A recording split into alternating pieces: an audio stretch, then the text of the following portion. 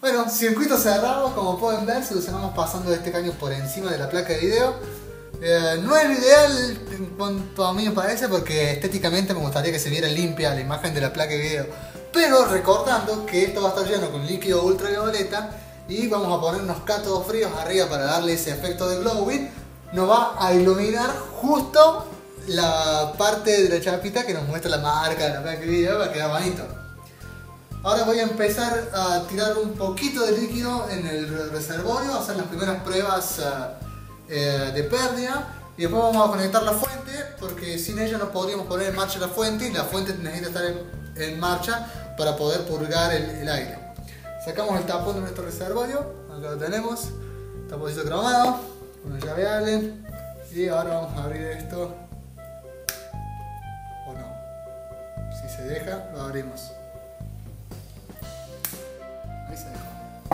Lo, obligué, mejor dicho. Vamos a hacer este embudito. Lo tenemos ahí. Y vamos. Empieza a tomar color la cosa.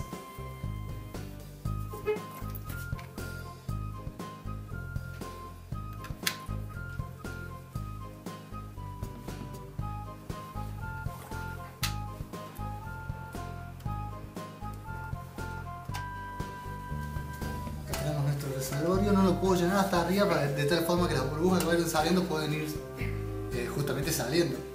Lo voy a inclinar un poquito, tratando de no tirar todo el miércoles como hicimos la última vez.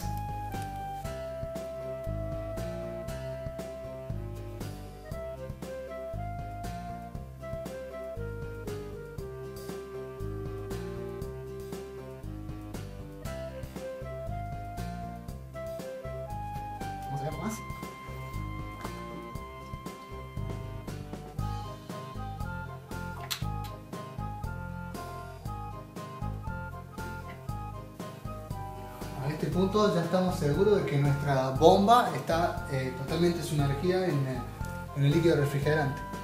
Hoy vamos a agarrar un papelito absorbente, ahora vamos a revisar las juntas de los primeros lugares por donde el líquido ya pudo llegar. Eh, acá vemos que ya atravesó el, el bloque y le falta todavía un poco de fuerza que la bomba lo va a ayudar para llegar hasta los radiadores que están todo, bien por encima y están en contra de la, de la gravedad, ¿no? Para que la bomba tenga que trabajar. Vamos a ver dónde. Simplemente probamos las áreas.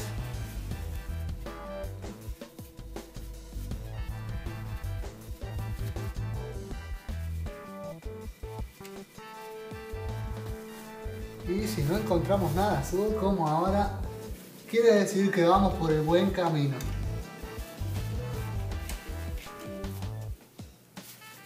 Bueno, vamos a poner la fuente e intentar drenar las burbujas del sistema y vamos a ver si la ponemos en marcha.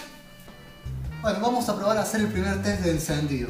Eh, colocamos la fuente y pasamos solamente el cable de 24 pines y conectamos los coolers por el lado de atrás, ustedes ahí no lo van a poder ver y conectamos eh, la bomba acá a uno de los hertz debajo del chipset.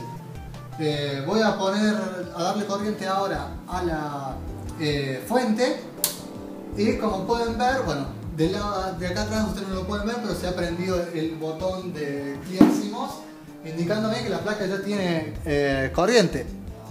Y del lado dentro de la placa tenemos el botón de Start y el botón de Reset que también están eh, encendidos.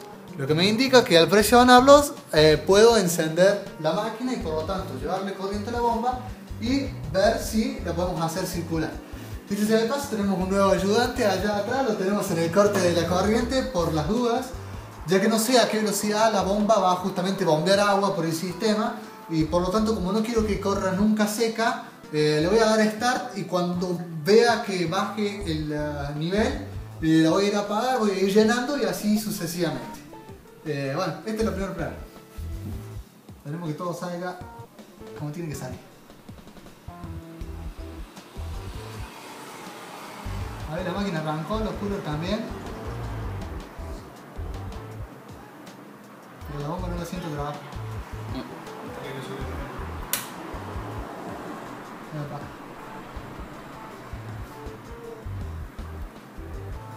¿Qué pacho ahí? Bueno, vamos a resolver este problemita y volvemos.